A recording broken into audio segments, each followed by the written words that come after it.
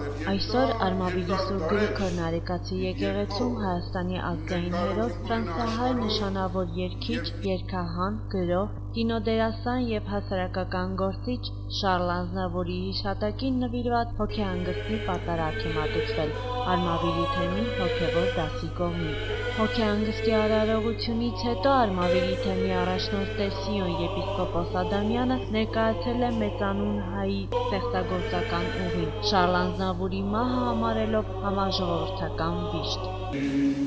Մեծարգո պարոն մարզպետ, հարգելի համայնքապետներ, եւ սիրելի ներկաներ։ Երեք մեր ժողովուրդը, հատկապես եւ ամբողջ աշխարհը ստացավ այս մեծագույն ցավալի լուրը, որ իտեր հանգչեց հայ ազգի մեծագույն զավակ ազգային հերոս Շարլ Ազնավուրը, որի մասին կարելի է երկար խոսել եւ բավականին երկար, որտեղ անցավ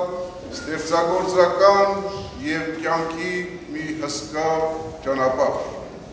Ոչ ոք չէր հավատում սկզբնական շրջանին, թե այդ թույլ ձայնով տկար մարմնով մարդը կարող է 94 տարի ապրել եւ ամենակարևոր ամենաերկար, ամենաերկարաժամկետ շանսոներ լինի ամբողջ աշխարհում, որի երկերը հազարից ավել են անցնում